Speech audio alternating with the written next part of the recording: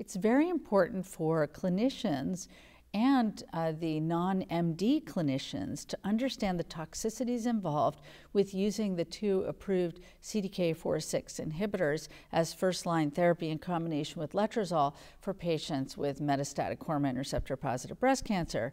Because with education and understanding the toxicity, you can really avoid any serious problems. So I think it's really important that we all know that uh, neutropenia is the most common toxicity from both agents, palbociclib and ribociclib. The neutropenia is usually self-limited. It occurs uh, during the therapy or after the therapy. It can occur, it usually occurs more frequently in the first couple of cycles, and then for whatever reason, serious neutropenia is less common further into the course of treatment. I think mainly because if a patient has had grade four neutropenia several times, twice, they're usually dose reduced. And so then you stop seeing it actually. It's not cumulative, that neutropenia. So you basically see neutropenia on and off during the course of therapy if you've had it from the beginning.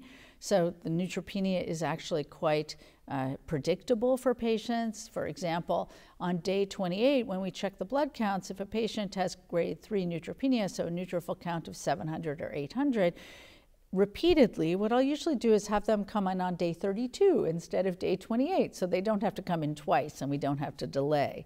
That makes it a lot easier for the patient.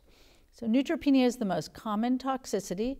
Grade 3 4 neutropenia is seen quite commonly and we don't see an increase in febrile neutropenia. So that's very important.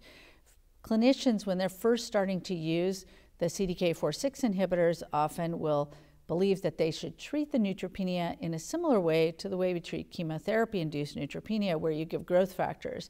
In this situation, because we don't see a lot of mucosal damage and it's very self-limited, uh, we just don't see an increase in febrile neutropenia. So growth factors are not indicated for the treatment of CDK4-6 limited neutropenia like this that's uncomplicated.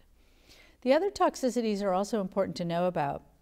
We see grade 1 stomatitis in some patients. So they'll have a single aphthous-like mouth sore. And it may happen with one cycle and not again. It may happen every third cycle, every fourth cycle. We don't really know why.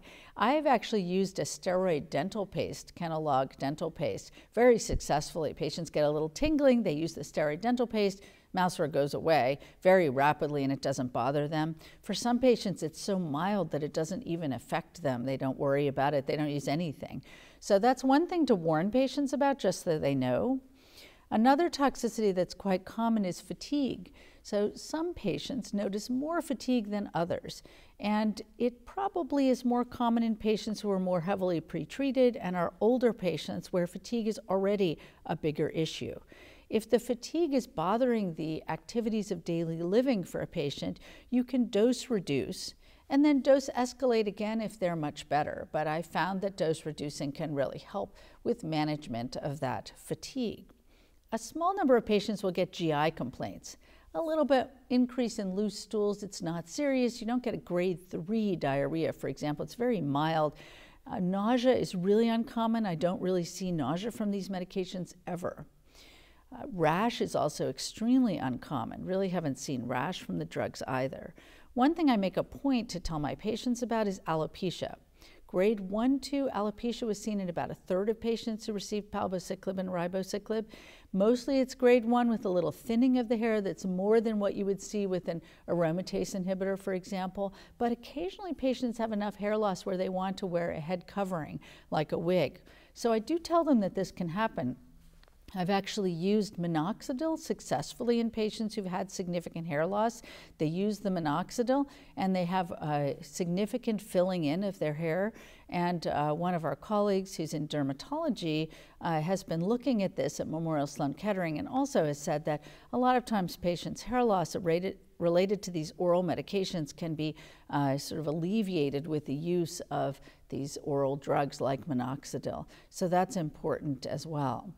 Ribociclib has a couple of toxicities which are quite mild, but where it's important to know about them. And they're really issues early on in the course of therapy, like the neutropenia is.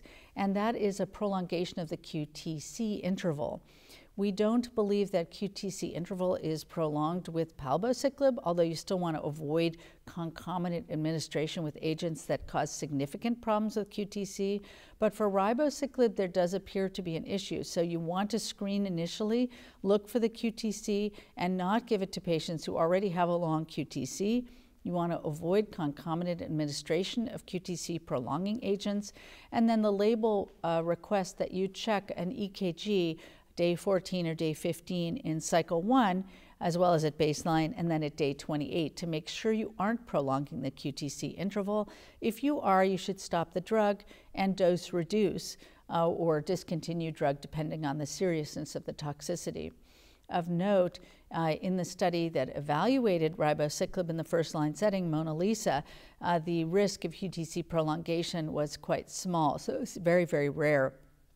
And there is an ongoing study called CompLEEment that is looking at QTC to get a better idea of what the real world aspect of this is.